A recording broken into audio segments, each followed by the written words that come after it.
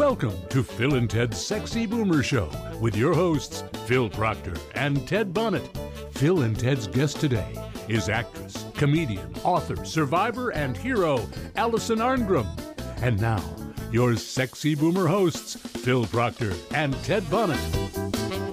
Welcome to Phil and Ted's Sexy Boomer Show. I'm Ted Bonnet. And I'm Phil Proctor. We have a very special guest for you today, Nasty Nellie from Little House on the Prairie. And now she's all grown up and got some great stories to tell us. Alison Arngrim. Hi, Alison. Hi. And, and of course, uh, Alison uh, was a, a star on The Little Horse on the Prairie about a family that raised dwarf horses. I used to watch it religiously. I just loved it. And how did you were you were younger then? You were like twelve years old, so I guess you could ride those little horses without you know any difficulty. The the only horse I could ride would have to be a tiny midget um, special horse because I am like the worst. Seven years on a western, can't ride a horse. Actually, Alison uh, was a star on Little House on the Prairie. Uh, and she was little and she could fit into the house. So, About, yeah. So, so listen, where were you raised, Alison, so to speak? By wolves. I was um I was raised in LA and I was a little girl living at the Chateau Marmont on Sunset Boulevard. Oh my goodness! Three, four, five years old, living in the Chateau Marmont.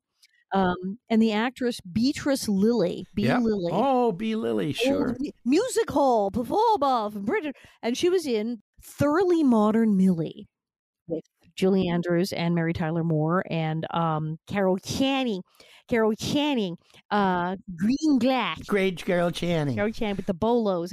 So this crazy movie, um, Bea Lillie was the old lady who was chloroforming the girls and throwing them in a basket and selling them into white slavery Yeah, I read for that part, but I was charming family film. So, and she lived up like up- upstairs down the hall. I found her in the hall.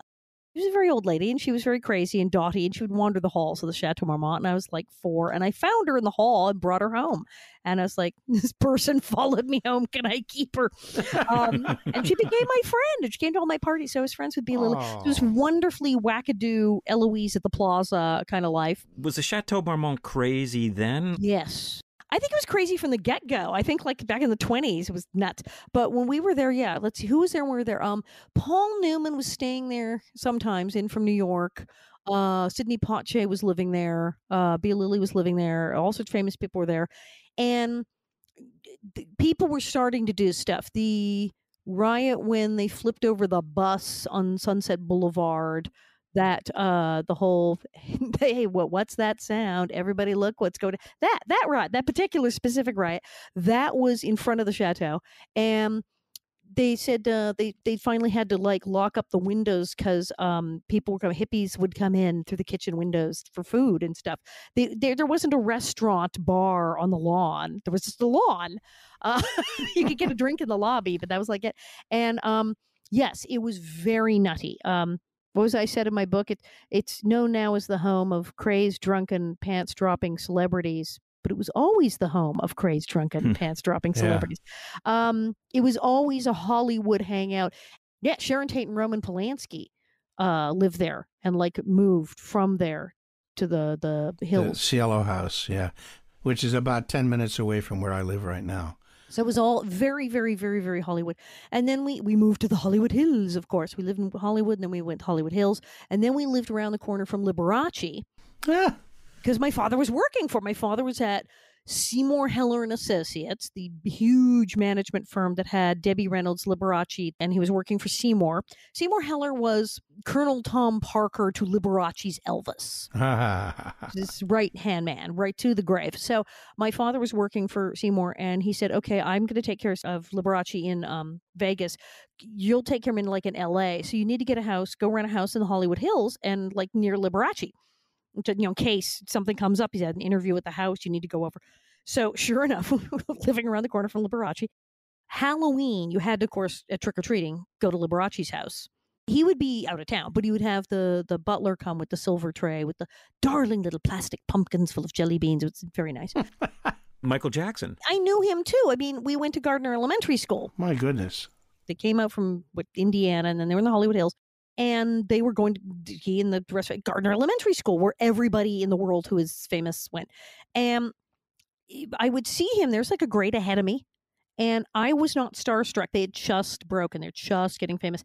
I didn't care. And other girls said, It's Michael Jackson. Could you get his autograph for me? And so I would go get his autograph for other people. And like a hmm. schmuck, I didn't get one for myself. And, but we would pass their house. Those of us who took the bus, we passed the Jackson house. And they were the subject of great gossip Yeah. because everyone knew that their father was abusive and mean and terrible. And everyone said, Yeah, I heard that they're like, they're going to have to get permission to get married when they get older. He said no one can date. They can't, the ones who are older teenagers can't date till they're 18. They can't get married till they're 25. Their father is going to tell them who they Hmm. can marry. We're like, what? What? What, what, what is the 1960s? What are you talking about? Who does that? And that we were hearing all these weird stories and gossip.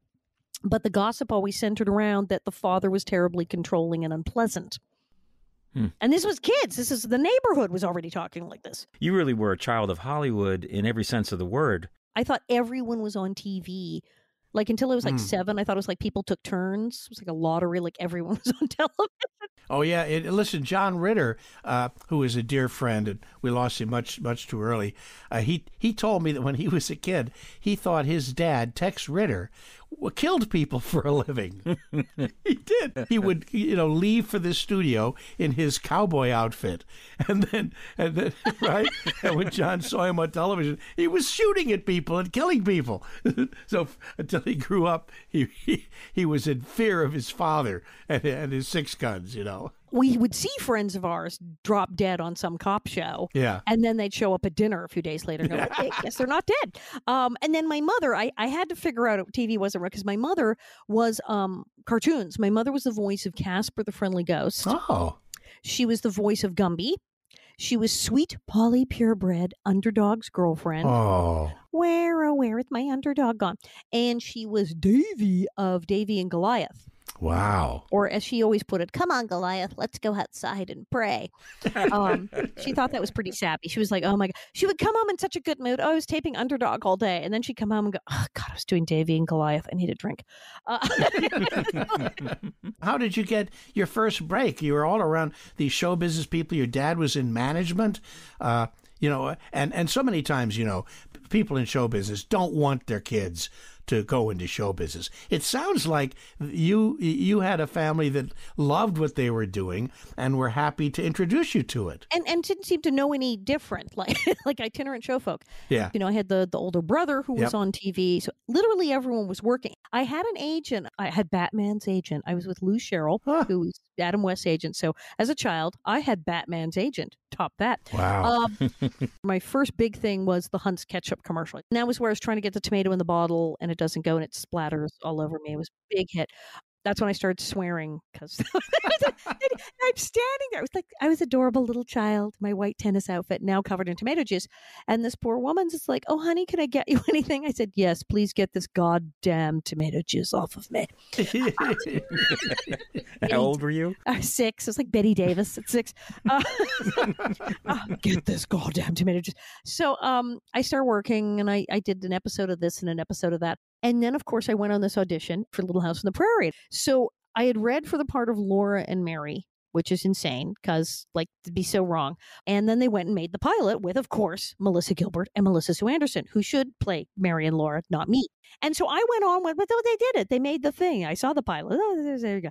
And so, like, then I get a call to come and read for Little House on the Prairie. And I'm like, no, they made that thing. It was on. It was on Christmas. and it's like, no, it's sold. Of course it's sold. It's Michael Landon starring it. It's like pre sold. So they're doing the series and they're doing the part where they have a town full of people. So come on in. They did not tell me that Nellie Oleson was a horrible person and I hadn't read the books. I had no idea. So I get there and I just get the sides and it's like cold. I like the sides. I'm like, I have no idea what's happening. I look at the sides and I turn to my father and went, She's she's awful. I said, This girl is this is not normal. He goes, What do you mean? This is not a normal part. This isn't like a normal little girl. yes. I said, She's she's a bitch. This girl is oh. a good-" And my father starts laughing. He says, What are you talking about? I, of course, I read it for him. So he dies laughing. He's like, "Oh my god, that's the funniest thing I've ever heard." He says, "Don't touch it. You have you have to just go in and read Yeah. it like that. You go and you read it exactly like that. Don't move a thing." And I'm like, "Okay." So I go in. It's Michael Landon and Kent McCray and Ed Friendly, the original producers, and I did read that, and sure, I did exactly the way. And they were in hysterics. They're, these grown men are elbowing each other in the ribs, and they're crying, they're laughing so hard. And they said, "Could you do it again, please?" I said, "Oh yes. What would you like me to change?" Nothing. That was it. And I leave, and by the time we got in the door, um, Jess, my dad's uh, business partner, was on the phone with the agent, and it was like, "You're hired, and your wardrobe fitting is on Tuesday." And oh, isn't that exciting? Oh my.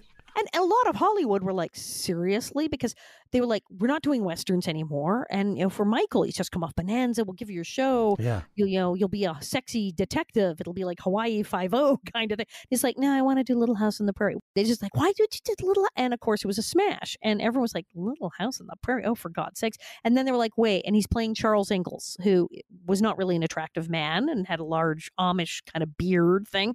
And he's playing him as this sexy Malibu guy with no shirt. and everyone was like, "No, no, no, no, no, this is all right." And of course, he was right. He, he was ever said, "That's you can't do that," and he did, and it was a smash. Nine years that thing ran.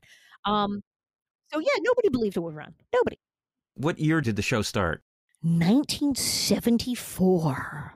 How did they think that something that provincial was going to fly? The networks everyone was like no this is this, we're doing we're doing norman lear. Everything is all in the family and mary tyler moore and you're out of your gourd but michael knew because he knew these books had been printed and reprinted and reprinted and that this whole generation of women who had all been young women watching bonanza young girls and were in love with little joe also had all grown up reading little house books and wanted to, to marry paul. Mm. And he went genius! And there it was. And he was right. He was dead dead right. It was a f- perfect market. It was a marketing absolute stroke of genius.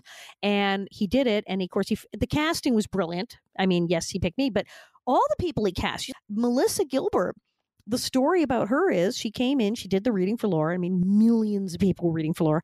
And melissa was leaving the room. And michael landon said excuse me one more thing. Yes yes. She was tiny. She's like eight years old. He said how tall are you and she was totally flummoxed and didn't know what to say or how tall she was she's like eight nine years old and she thought about being measured at home and she put up her hand and said i'm this tall and of course my michael went yeah Oh. that's who i want for Oh. Boo, done i'm done send everyone home and that was it You mentioned that Michael Landon had a strong female following from Bonanza. As you wrote in your book, you theorized this is why he never wore underwear. Okay, 70s, right? Hello, 74. Guys were running around in tight pants and no underwear and puka shells and open shirts. And this was very Michael, but here was, he uh, was famous for not wearing underwear and very tight pants. And then, of course, the shirt would come off. So it was like, yeah, eight, that's not a thing in the 1800s. But by golly, um, there he was. There were over 200 episodes and has now been seen in 140 countries. Yes. Amazing. Now, you're 11 years old on this set, so you're a kid drinking all this in. And speaking of drinking, Yes. this was kind of old school Hollywood film production. Yep. There was drinking. they all smoked and drank. Everyone had a cigarette hanging out of their mouth and a beer in their hand. Hmm. And this was like totally normal because it was the 70s. These guys had come up from Bonanza through the 50s. They're like, what? So they're all smoking and, dr- and you know, now you go on a set and the craft services table is all health food and they have gluten free and, and fat free and macrobiotic and nobody drinks and nobody smokes. Melissa and I were drinking coffee and eating glazed donuts at five in the morning. It's like, There was a story in your book that stuck with me too. You were always tired because it was just exhausting, and you would find hideaway places and you would sneak into the driver's seat of the, the prop truck to catch a nap. And you overheard Michael Landon come into the prop truck in the back where the prop guy was working in the morning, and you heard him say, Hit me. And the prop guy poured some hard liquor into Michael Landon's coffee. Yes. I mean, we're talking a jug of wild turkey. he does. He comes in and see the prop truck. Yes, they had the props, but that meant they had like Mhm. the food for food scenes. It means like the candy and the mercantile. And so, of course, they had all the cigarettes and the booze. Michael said, hit me. And he said, four fingers. He said, yeah. And he got, I mean, a jug of wild turkey and pouring this in the styrofoam cup. But it's like the usual, sir. Yes, of course. And I'm like, oh my God, what time is it even here? like, okay. And so that was like breakfast.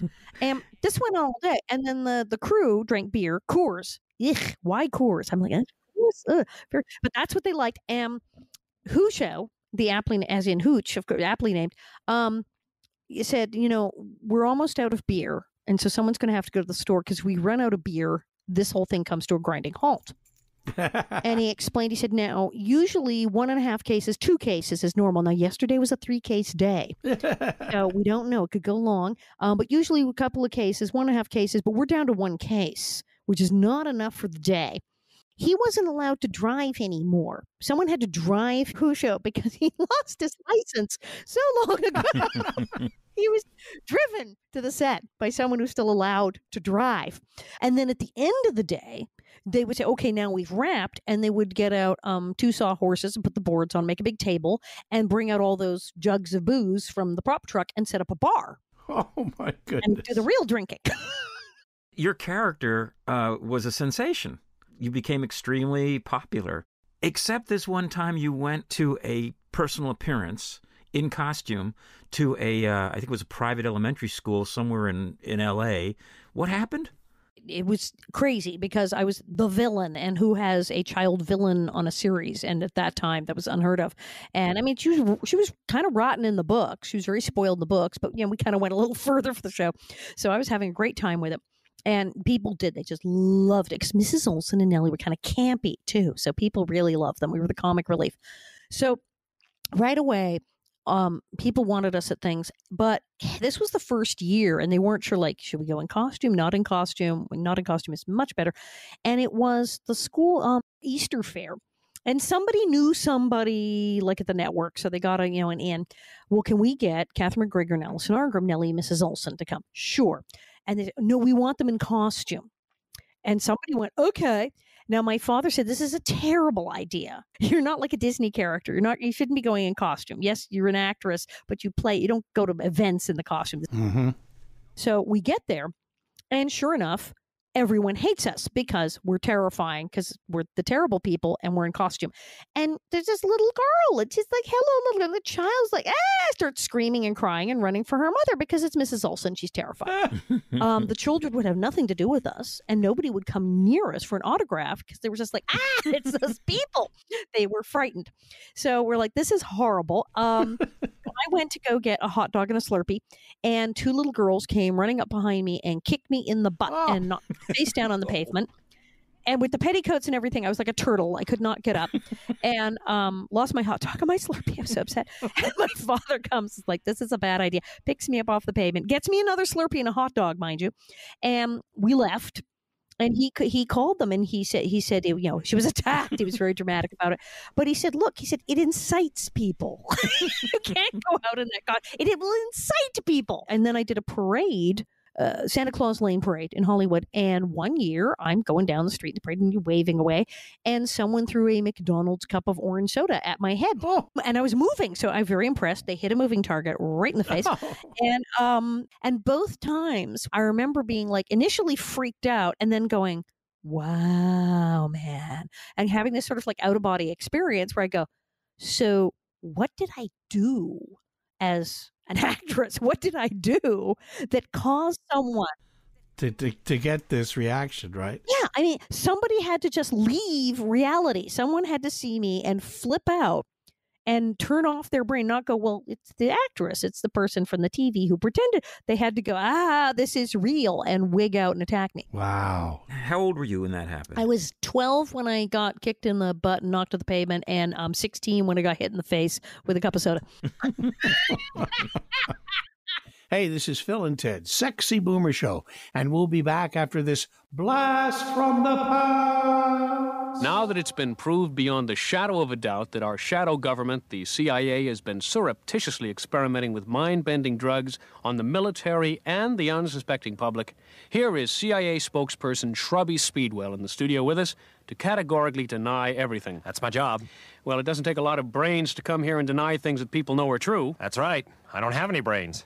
I was one of the first ones we experimented on. With your knowledge? Oh no, I just had a job in Chicago at the time as a business machine. You know, I worked in one of those big buildings and looked pretty much like I do now, except I had brains then. Well, what did the CIA do? Did they dope your coffee? They doped everything. The CIA used to come through the office every day disguised as a snack cart. You'd eat one of those double glazed donuts, and you were. Both of you. You mean it, it turned you into a schizophrenic? Not me, only him. Who are you talking to? I'm sorry, we can't tell you. That information is still classified. No, it isn't. Sure it is. What? It is not. We removed the classification and we sold the story to the Reader's Digest. No, uh, we didn't. Yes, we did. right, we'll can be look it up back in the to classified talk to both of our guests Hey, that's no way to talk after yourself. this. You're listening to Phil and Ted's Sexy Boomer Show. If you want to be notified when a new episode posts, subscribe to our podcast right now by clicking the subscribe button in your podcast player. And if you'd like to toss something in the tip jar to help our habit, look for the donate button on our website, sexyboomershow.com. Back to Phil Proctor and Ted Bonnet and their special guest, actress and comedian Alison Arngrim. Welcome back to Phil and Ted's Sexy Boomer Show. We'd like to thank our very generous cash donors to the show, our listeners Edgar Bullington, James Mack, J.L. Milligan, Leslie Orford, John Lagawa, Lawrence Budd, Charlie Moed, and someone who has volunteered to offer a recurring $5 a month payment, Patricia Poet. Thank you so much for your generosity. You're all officially now members of the donor party. and we have a very sexy guest with us today, the beautiful Alison Arngrim, who's probably best known as the writer of Confessions of a Prairie Bitch, stories about her childhood experiences as an actor in the Little House on the Prairie. Alison, you had an accelerated childhood. you can tell. Sounds like it. when you were 15 and 16, you were hanging out in punk rock clubs. Yeah. You, you, you're working Little House of the Prairie, and then you're going to some punk club that night, underage. I would paint my nails black or purple glitter and stuff like that, but I was very conscientious. I took every scrap of nail polish off my fingers before Monday morning. Um, I wanted to dye my hair green, and I did not dye my hair green because I, I did not screw everything up for the show. But it was interesting because the whole punk sort of sensibility sort of worked. I was listening to this music and like in the mornings on the way in and then playing this character that was rebelling against everything and telling everyone to go to hell um so it kind of kind of lent itself to the whole Nice parallel, yeah. yeah. it worked for me but it was great yeah i i you know i couldn't not, not on a school night or a work night but on the weekend i saw um dead boys wall of voodoo uh devo Woo. You would think that somebody in your shoes at that age, having the success, the fame, the access to wild punk clubs, and living the life at age 15, 16, might go off the rails a bit with, say, substance abuse, which was very popular at the time. What happened to you? Well, I tried, but I wasn't very good at it. The 1980s, me and Jay Leno, the only two humans not on cocaine for an entire decade. I didn't. I did, you know, I did the usual, you know, smoking pot things, but every time I like tried drugs, and there were certainly lots and lots of them around in my own household, as well as all everyone I knew, I was like, I didn't think that was very good. I don't think I'm doing that again. I feel awful. You were lucky that way that it just it didn't appeal to you. It and the cocaine didn't affect you like other people. Yes, I snorted it once and went, You pay money for this? Yeah. Could not get into it. What's even more remarkable about the fact that you didn't go off the rails that way was because you did not come from a stable household. Lord knows. See, I, I went off the rails. I- We had a panel discussion with the cast of Little House for this Wizard World online virtual um, autograph show we just did. And that was one of the things we are talking about becoming an actor and having your life turned upside down. And Melissa saying, Yeah, you're a child actor and your life is turned upside down and you're famous. And I said, Well, my life was already upside down, and getting on Little House on the Prairie turned my life right side up. Hmm. Everything was already nuts. I was already eh, been abused, exposed to drugs, and every insane possible thing that could happen had already happened. Your older brother was having a party at your house. Yeah. They had a cake there, and of course, you were a little kid, right? I mean, how old were you? About eight, and I usually did all the baking in the house, and that's why I was so surprised that somebody had made a cake and not consulted me. So you see this cake at the party, and you go, Ooh, you're eight years old, icing. And so you started eating the icing. Oh, worse, I was in the kitchen. They just finished it, and I found the bowl of icing. And you know, you're talking about eating the bowl of icing, like and licking the beaters, where like everything. And that's when my brother and his friend walked into the room and both went white as a sheet, and seemed really upset that I was eating the icing. Was like, "What? What's going on?" And that's when they explained that they were having a party and they'd put um, LSD in the cake icing and that um, they'd worked it out.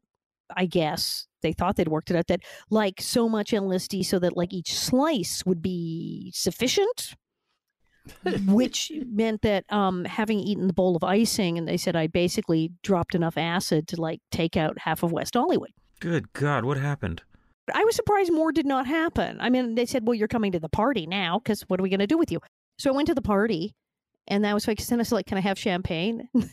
and the other people part, she can't have champagne. It's like, well, she's had more drugs than the rest of you, so give her the champagne. So yeah, so I had champagne and more cake, and I did not get as nuts as I thought I would and and everyone was sort of fawning all over me. Everyone was waiting for me to freak out. So if I said, "Let's play Monopoly," they're like, "For God's sakes, get the Monopoly set." it was really, really weird. Um, I don't know how many of my brain cells I may have fried during that, but I, I got through the night. But that was, yeah, the kind of chaos that was like a regular occurrence when I was under the roof of your home growing up. I mean, eight year old having uh, washing down LSD infused cake icing with champagne. I know that was at a party later, but still. Right. And so that's the thing. I kind of was jaded and blase. By the time I was 14, 15 years old, wow. I probably tried everything. so it was mm-hmm. like, yeah, whatever, man. So by the time my friends were starting to do crazy things and try drugs and do all this stuff, I was like, yeah, you probably won't like it. I've done it. like, okay, been there, wrong. done that. I've done that already. And so I was sort of over it. And then I kind of also had a similar thing that, um, as Jay Leno had, because Jay Leno, you know, did, did, did totally non drugs, didn't drink or do anything. And which I remember his, his manager knew my dad at one point said, Yeah, I call him when he's on the road. He's in his room by himself. Who the hell does that? Um, and so he didn't. And he said at one point, mm. he said, Well, I can either do this or I can go party. I can go party all night and with everybody else and drink and do drugs and blah, blah, blah. Or I can do this and I want to do this. I want to write jokes and I want to tell jokes. I want to work. And he was so obsessed with the work, he didn't really want to go party. And I have that sort of streak. Mm. I was more interested in doing things and like work than just blowing my brains out on drugs, which most of my friends were way into. I hung a right instead of a left when a lot of people didn't do that but also fascinating because you had every reason to go off the deep end with drugs because of the darker side of your story about sexual abuse in your home that you were a victim of from your older brother. Uh, as I said to Larry King, you know, I was sexually abused as a child. I'm an ex child star. I am way behind on that tri state killing spree I should be on by now. yeah. and it's right. just kind of true. Um, I've had a lot of therapy at this point. I got into therapy in my 20s. I've now had like 24 years or something of therapy, not counting group and etc. Um, so I, I mean, I did wind up. Yeah, I had to go to the shrinks and sort of have pieces put back together in my brain. But hmm. yeah, a, a, lot of people when they have that kind of trauma, and, and if you talk now, they kind of are on to it. Now, when someone shows up with a serious drug addiction and problems, the first thing they ask them is, "Did you experience any particular trauma mm-hmm. as a child? Do you have PTSD? Mm-hmm. Were you abused?" And it's like, yes, like ninety nine percent of the time. So they kind of got onto that. Um, yes, people with that kind of trauma and and I, I absolutely did have PTSD for years. Um, I think I still technically do. I have like weird hearing. Hmm. What did you say? Eh, what? I can hear a bat fart at like 50 paces. It's it, it's just weird. It's like, what was that? I like flinch. So I had the PTSD thing, but a lot of people do. They they self medicate. They go nuts. They have really yeah. serious problems, and that's just like a thing I didn't do. Hmm. What was the span of your age when you were victimized? Gosh, I guess I started uh, six. And then I know it was around nine when I finally said, um, You're not doing this anymore. I'll call the cops. Wow. To be dealing with that kind of abuse, being a villain on a very popular TV show, having pretty wild upbringing all anyway, how did you keep your rudder in the water? It's been said that if if you have one one person, a person who's a positive influence in your life. Even it's like for even a brief period of time. There are people who've had horrible, horrible childhoods, way worse than mine, but they literally a person said, you know, you're actually like a good person. You're going to be okay. Like once. Um, I had my auntie mm, Marion, mm-hmm. who took me to the set every day. Mm-hmm. And she used to call me her favorite niece. You know, she only had the one niece, but it's good to know. Um, Annie Mary was amazing. I would say like Saint Auntie Mary. She was a fantastic person. She was absolutely a, a moral center, if you will, and a good person. Um, I had the cast and crew of Little House on the Prairie, who, despite all the beer and Mm, cigarettes, family. were really, really nice to us kids and very supportive. It was a very, very supportive, safe environment. I felt that everyone was Mm. very nice to me and supportive of me. I didn't feel like anybody was being awful to me. Um, and as an adult, yes, I absolutely could have told them. As a kid, you're like, no, I can't possibly tell anybody this. And you didn't tell anybody. Not a soul. How long did you hold on to this secret? It was like in my 20s. My God. And it's, with pe- pe- it's stupid, but people do it. The you're told you must never tell anyone this, and it's complete BS But it works on a child. because you're a child Right. And you don't know any better, and so you don't tell anybody. Do you think it was fueling any of the rage of your character? I mean, was it cathartic? Yes, I, that's that's one of the other things that was helpful. Okay, so I had I had people around who were really cool, who I could look up to and go, well, they seem to be doing all right. Um, I read a lot, so I was like reading about reading about psychology, reading about things, reading about people who had undergone terrible things and survived and gone on. I, I loved reading about like Holocaust survivors and stuff, people who'd had terrible things happen and done very well. So uh, okay, and Mhm. then yeah, I had this character I played where I went to work and I yelled and screamed and threw things and broke things. Who does that? I, people go to work and they go, Yeah, it was really hard. I had to be nice to everybody all day. I had to go to work and be terrible to people all day. I could let it out. It's like if you go to work and, oh, I'm in a bad mood. Well, I got to kind of put on a nice face. I could go to work and go, Yes, I'm in a bad mood. And it's like action and scream and be miserable and stomp my feet. And the energy you let out doing, I would feel, Yeah. people would ask my mother, they go, What's she like at home? She goes, It's all out of her system. She comes home, takes a Mm. nap. Uh, So you were doing your Mm. primal screaming. It was. I was letting all this out. It was so much fun. And I did feel better at the end of the day. I thought, well, that's pretty good. Boy, I can really talk about a place to dump my unbridled rage. That's kind of good. Wow. And it felt really good. So I had that going and I had a job. But that's the other thing, too. Yeah. All teenagers should get a job The job gave you a sense of self worth. and responsibility. How far can you go? Okay, so it's the weekend and maybe you're high and maybe you're drinking and maybe you're going to see punk bands, but you know, on Sunday you're going to take off all the nail polish and you're going to go to bed early and you're going to get up because you have to be at work at five o'clock in the morning. I know there's people that don't care. I mean, we've seen how many actors and performers and people who don't show up at the movie set or the TV set or the recording studio because they're hammered, but not on Little House. That was a, there you go.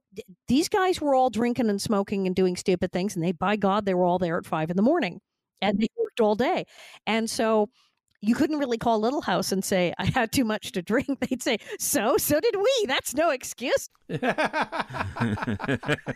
all high now. What are you talking about? Get over. it. but in credit to your character, you drew the line and stopped the abuse uh, yourself uh, once you realized it was wrong. And this was before you started Little House on the. Prairie. Yes, yes. So, so you had already. Come to grips with that. I had moments where I could be a fairly ballsy little kid. Maybe it was like I said, like the the, the Hunt's ketchup commercial. Please get this goddamn tomato juice off of me. there, I did have a streak that at some point would go, okay, yeah, that's enough. Yeah. Another thing that's very useful for people who've been through horrible trauma is looking back and going, okay, I did this thing. Okay, oh, oh, I did that. I got through that. Oh, I survived that over there. Oh, there was the time I was really tough and I was able to to be able to catalog it, look back and go, well, wait, I did do it. I've done it before. I can do it again. Mm. And and that's why like writing your life story. Now, not even just like, well, yes, the autobiography obviously helpful, but um because I do my show, my stand-up show, and a- they're real stories from my life. And then I started going to France and with this guy Patrick doing a French version of my stand-up show. So I was at a conference, a child abuse conference, because of the National Association to Protect Children. that I'm on the board of, and I met all these like doctors and neurologists, people like brain surgeons and psychiatrists. And they said, okay, let me see if I got this right. So you wrote your life story, yeah, but you get up in front of people and recite basically like like your life story, yes, and then you go and do it in another language. C'est yeah. impossible. and they went, Do you have any idea what you're doing to your brain? And I said, "No. And they said, Okay, so neural pathways. Yeah. Um, one doctor explained he worked at a hospital dealing with a lot of people who had methamphetamine problems. And some of them were really bad off. And he said, One of the first things we do is we get people to write out their life story. And he says, and frankly, it could be like in crayon on the back of an envelope. We really don't care. But some people have lives have been so chaotic, they've never even sat down and stopped and said, okay, this happened, then this happened, then this happened. There's just been no point to even time to hmm. reflect. So we say, okay, well, how'd that happen? And I mean, literally, there were people who were like, you know, maybe when I robbed the bank, that's when things started going wrong. And they, they hadn't, you know, who thought about it? They didn't have time to think about it. And that when people put stuff in order, they went, wow, that's really interesting. I did this, and then this happened, and this happened, and then I did that. Oh. And it seems simplistic, but people who've never done that really have a great reaction when they start doing it. And he said, and then when you discuss it, we have them write it out and then we have them like read it. So when then when Mm. you tell someone, it ha- does things to your brain. And then they said, and learning another language does things to your brain. And trying to talk about what happened to you in another language, they said you're like, you know, tearing neural pathways into your head, not like a pen knife. It's like, oh my God, you like stick something in your ear and jiggle. They said that's really unusual. They said, have you noticed that you feel any better since you started to like, yeah, come to think of it. Um, so that does work. Talking about what happened to you and putting in writing and talking about it. Hmm. That is a thing when they talk about trauma and PTSD and all that. It does have to do with the neural pathways. When you're learning to tie your shoes, say, as a child, that's the biggest example, it's the easiest one. Okay, normally you learn to tie your shoes and then you don't really have to think about how to tie your shoes for the Mhm. rest of your life. You kind of learned it, and so it's it's it's ingrained. And like the alphabet or very basic tasks where you learned it, and now it's sort of just matter of course. You you have a, a part of your brain that has recorded that how to do that, and you don't think about it. It's just there. So it's a muscular brain thing. hmm What if at the same time that your brain is learning all of these clever things, you're also being abused, you're being terrorized, you're learning how to scream and run and freak out? What if all that is being learned? That's storing information and carving pathways in the same places. So that's why it's very difficult for people, even later in life, to move forward from early trauma. But if you do something crazy, like tell people your life story, write your life story, have a stand up act about it, and then go do it in another language. it's kind of like it's like I'm sorry we have no more disk space. We just shoved everything out to make room for this. I, I I had to like erase several gigs in there to get it all in, and it actually had, massively has an effect on you.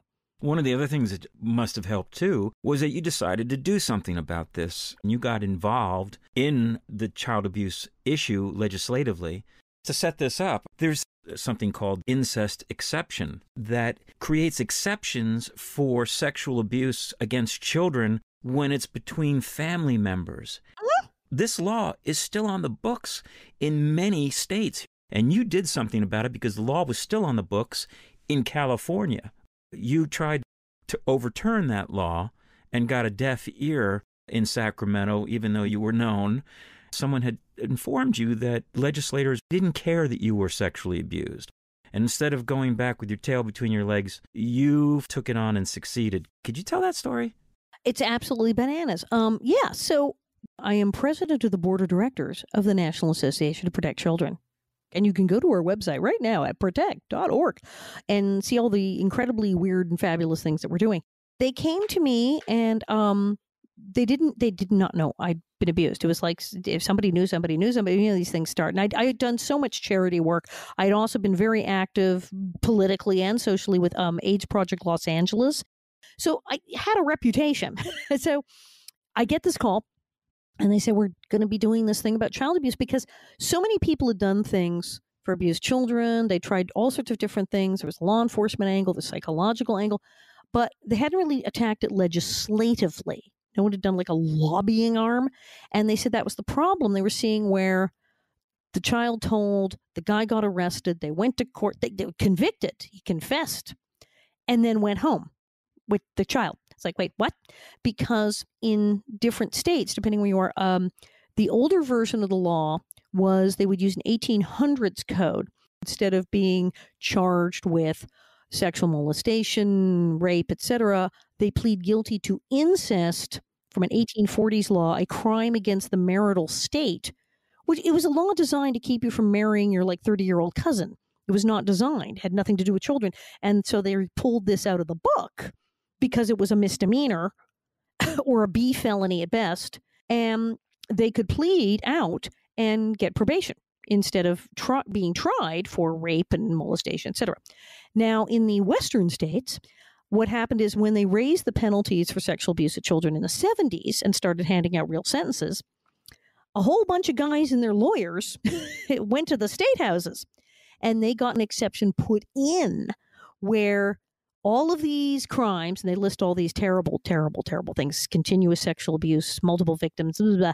and then it says, you know, 20 years, whatever, unless, this giant unless, the uh, perpetrator is a relative of the victim.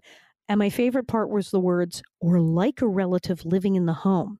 Good heavens. So, like house guests? What? boarders? We're accepting boarders? What does this mean? Um, so, some there was a guy actually who tried it once. He said he was like a grandfather, and he thought he should not have to go to jail because he, uh, he was old and he knew them. So, I'm like a grandfather. This was sort of a loophole for sex abusers to marry divorcees with children. Exactly, which is the easiest way. Like, why go to the park and you know have the police follow you when you can just meet a woman with children and say, "Oh, you need a guy in your life," and marry, and then you can get away with it. Hmm.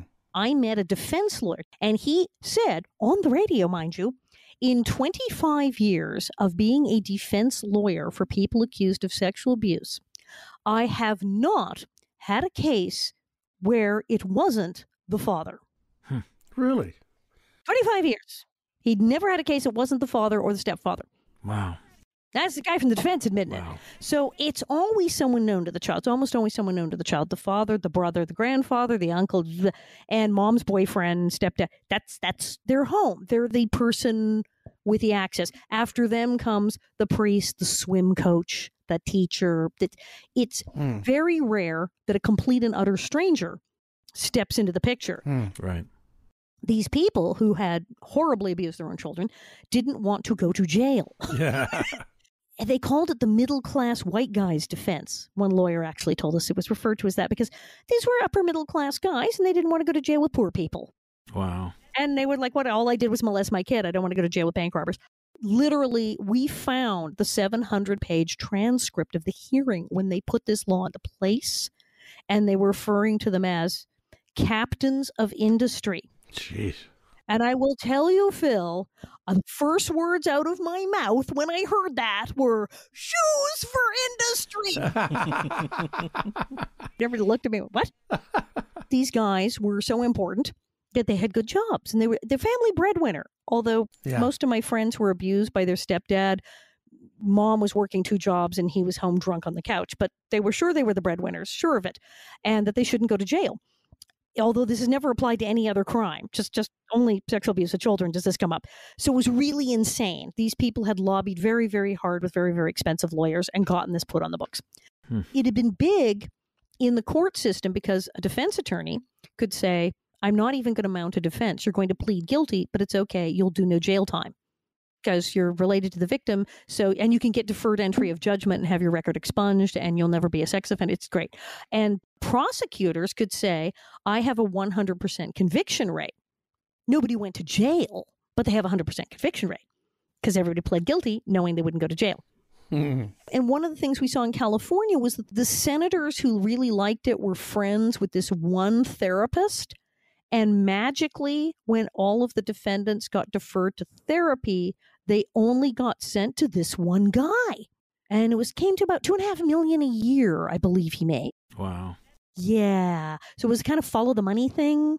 And there are states where people have a racket set up where they're profiting enormously. Hmm. If you weren't particularly concerned about the ethics of it, it was a very handy law for a lot of these people.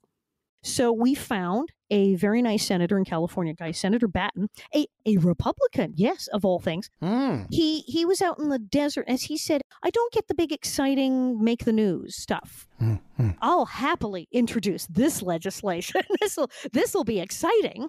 And he said, also, I my degree, my background is actually in psychology, and I know all about these guys, and they're such liars, and I'm so tired of them. So yes, I'll be happy to help you, Perfect. which was great. What year was this? This was 2004.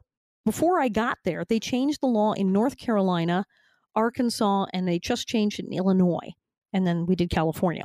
Arkansas, oddly, was sort of happy to do it. They said, We're, we're tired of being the focus of jokes about that. So, Hmm. but California really wanted to keep it, Hmm. which is kind of mind blowing Yeah. there was a psychiatrist and a lawyer and a doctor and a, a- me and all these people and we presented all this fabulous stuff to this whole public safety committee and they said no I mean, some of the senators who were on that committee had been there when they put the exception in place. Oh my goodness. Yeah, we had the wrong audience. They were just looking at us like, please die. How do they defend their position? They didn't care. They didn't defend their, they were like, because we can. They had passed all of these laws without anyone paying any attention whatsoever.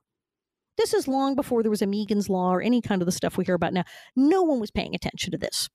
And so they felt quite entitled to do whatever the heck they wanted without anyone calling them on it. And they were not accustomed to getting called on it. And they were so rude about it. They were really mean about it. And as I said in the book, a uh, senatorial aide actually said to me, No one in Sacramento gives a shit that you were molested. I quote unquote. Hmm. I was like, really? Well, being straight up about it. Thank you. So she was actually very helpful because she laid it out for us. And some of the people we went up with who went through this and when we got shot down were really traumatized by this. A lot of people were crying. A lot of people really upset. I got mad and called my publicist. and uh, uh, it's like some people go home. I called my publicist. so he called the producers at Larry King Live and said, "Well, here's what's going." They were like, "What?"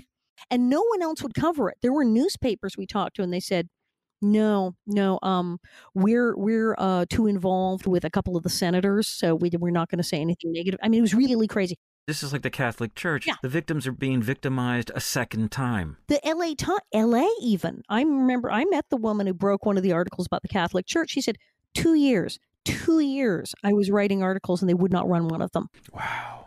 So people don't want to talk about this stuff. They were really trying to shut it down back in the day.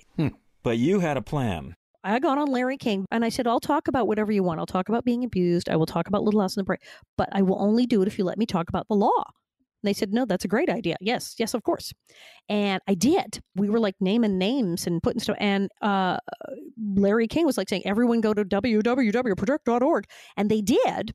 And of course, Protect was ready. We put up the pictures of the senators and their phone number and their fax number and email and said, this is who you call. This is who said no Wow. and we blew it out. We we crashed the servers in Sacramento. It was huge. Everyone tuned into Larry King to see Nellie Oleson from Little House on the Prairie talk about being abused. Hmm. People went nuts.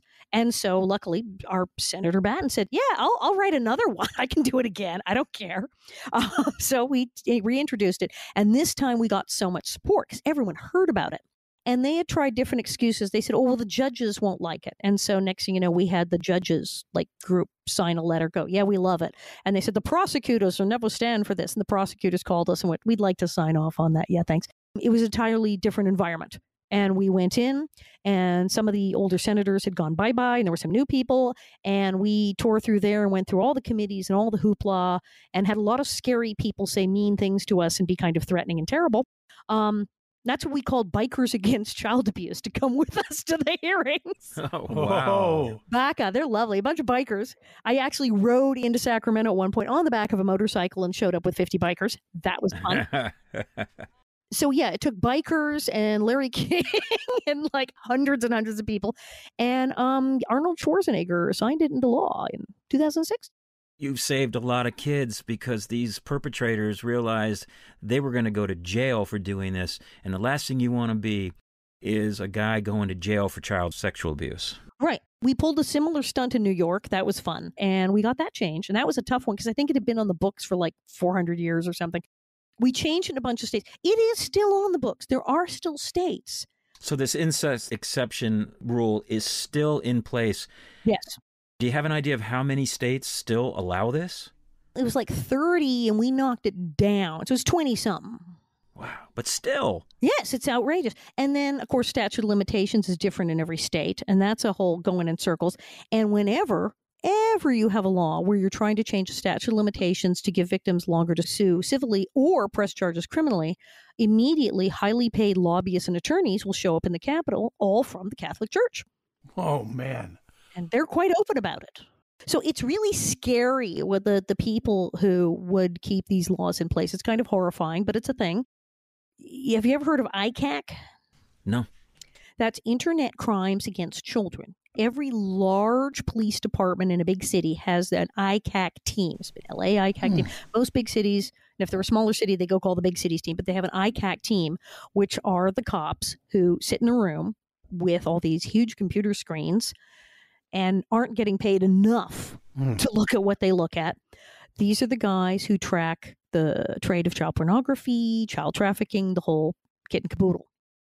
And they see the terrible things that these people send each other. Fabulously, the tech has evolved that so much of this stuff with the digital thing is so digitally coded they can actually pull up a screen of numbers and not have to look at the picture. Yeah, I was shown a screen of numbers and I said, "What's that?" And I said, "It's child porn." I said, "I see numbers." Yes, because we've done it now so we can just read like the digital signature and not have to sift through every single one of the freaking pictures. Because it affects them. Horrifying. Hmm. One of the things we did at Protect, we found out that one, they they weren't they weren't getting paid enough.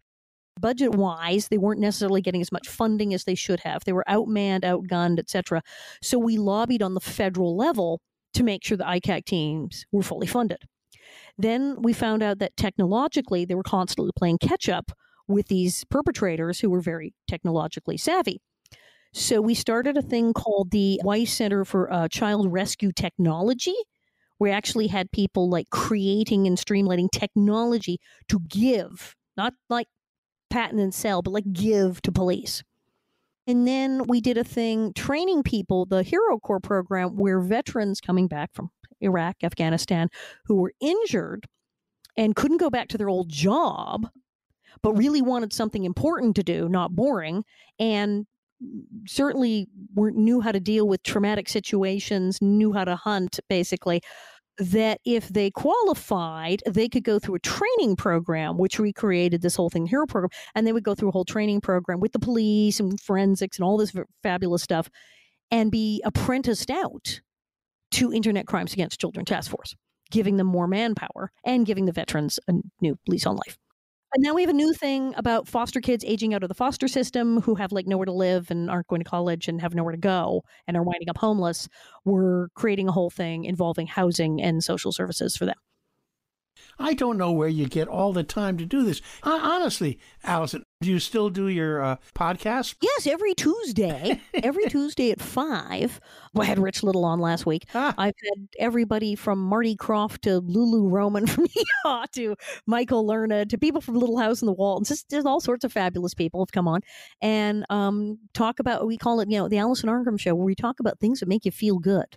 Yeah, yeah. How will people find that? Oh, it's on UBN Go. You go to the internet. UBN Go is a website that is a radio station, internet radio station thing, and the Alison Arngrim show's on there. And they have my shows archived there. It also goes on Facebook Live on the Tuesdays at five, and they're there. And then it rolls over and becomes a podcast on podcast finer stores near you, iTunes, Stitcher, etc. Excellent. We'll put all these links, uh, including the child abuse information too. We'll put all that on our website. That's uh, sexyboomershow.com. I would suggest getting started with your New York Times bestseller book, Confessions of a Prairie Bitch. That Melissa Gilbert called Courage, Moxie, Chutzpah, Cojones. Alison Arngrim has them all in spades. I love this book and I love her. It has been an absolute delight talking to you because we didn't have to. Right? You have so many wonderful, wonderful stories and you tell them so well. What an admirable life you've ha- you have. Congratulations. You define the term survivor. Yeah, you got to do something, you know? Yep, that's right. Well, you're you're doing it. Keep up the good work and uh, take a cat nap now and again. Bye, Alison. Thanks. Thanks. What an amazing person she is. When you hear about all her stories and her life and her upbringing, She could have gone sideways 10 different ways, and yet she didn't. What a testament to her character. Yeah, and it's absolutely amazing that she was able to find some time in her busy, happy life to talk with Phil and Ted on the Sexy Boomer Show. But then, who wouldn't? We have a lot of really interesting guests coming up, so stay tuned, everyone, and please remember to press that little subscribe button on your podcast player so you'll be notified whenever we drop a new show, which will be soon. And don't wear gloves while you're doing it, because otherwise it won't register.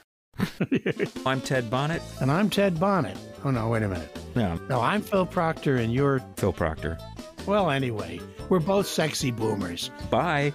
So, You've been listening to Phil and Ted's Sexy Boomer Show, featuring Phil Proctor and Ted Bonnitt and special guest Alison Arngrim. CIA Drug Practices was written and performed by Proctor and Bergman. Music by Eddie Betos and the Nervous Brothers. I'm A. Ernest Guy. Stay tuned for the next episode of Phil and Ted's Sexy Boomer Show, produced by RadioPictures.com, the makers of fine podcasts for seasoned hipsters. Man.